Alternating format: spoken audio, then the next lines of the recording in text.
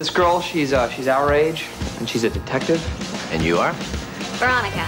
Mars. So, who are you going to send to prison for the rest of his natural born days? You let this happen! I'm gonna catch the rapist, see him crucified. You wanna know why I do it? Here it comes. You're under arrest for the murder of your father. Veronica, something bad is going on. What were you looking for?